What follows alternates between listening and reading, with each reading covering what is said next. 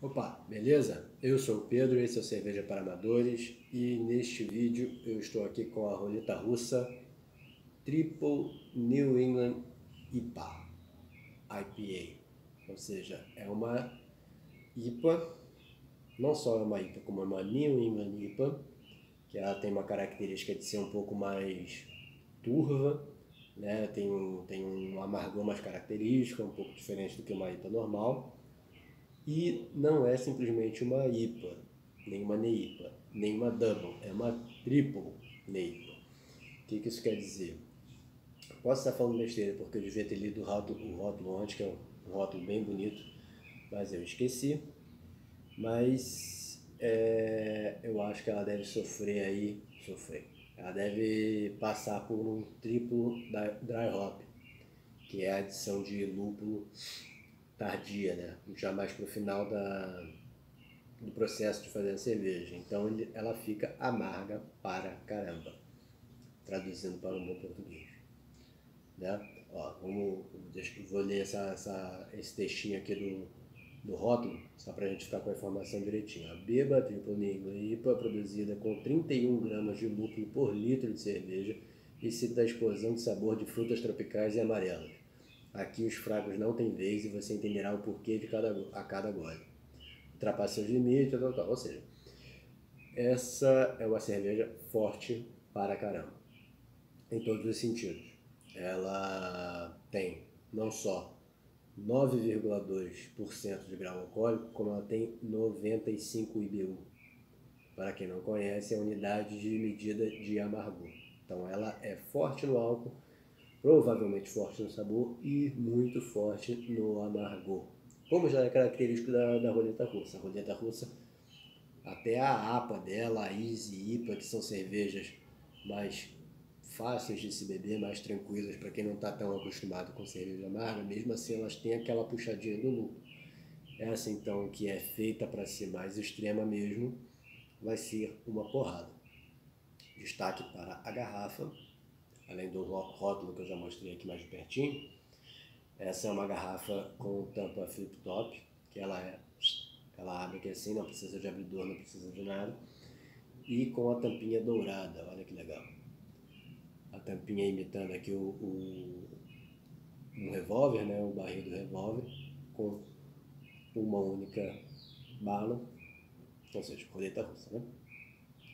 Então é isso. Sem mais delongas, sem mais apresentações visuais, vamos ao líquido em si.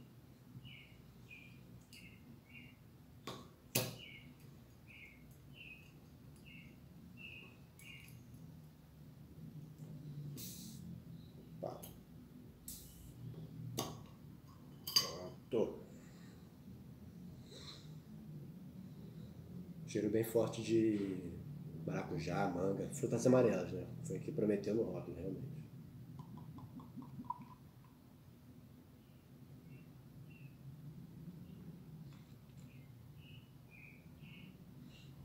Olha, é bem turva, né? Não é translúcida, você não consegue ver através do copo. Uma formação de espuma até um pouco discreta, eu acho que é porque ela está um pouco mais gelada do que ela deveria, tá? Minha culpa. Mas o cheiro, eu tô com o copo aqui, tô com a garrafa aqui, tô sentindo forte o cheiro de, de maracujá. Lúpulo na bomba. Então é isso.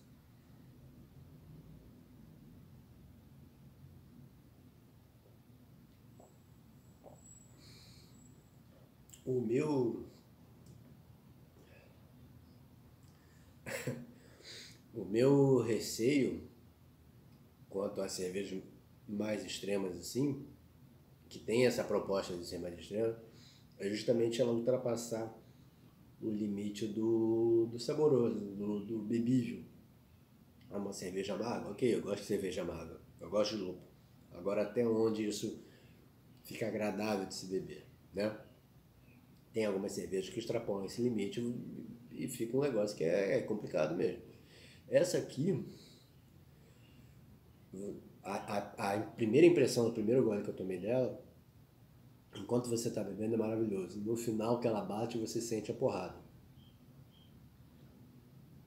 Para mim, nesse primeiro gole, não ultrapassou o limite do, do saboroso, do gostoso da, da cerveja, mas ficou bem próximo. Ela falou que a cada gole, né, você vai entender que é uma cerveja amarga a cada gole, então espero essa sensação tá, tá aumentando daqui para frente. Mas o cheiro é sensacional, destaque total pro cheiro.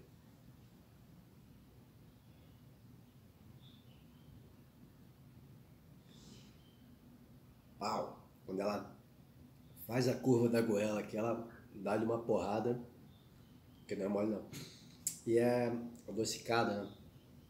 Isso é interessante também. Mas é isso. Roleta russa. Ah, é importante destacar, eu comprei essa garrafa aqui, eu achei um preço sensacional, eu achei 16 reais. 16,90 eu acho, 17 reais no supermercado. Pô, uma tripla IPA, 500 ml. Não é, não é sempre que você acha um valor baixo, tão baixo assim. Ainda mais com essa garrafinha que vou guardar certamente. E lógico, para provar a cerveja, né? Que é um.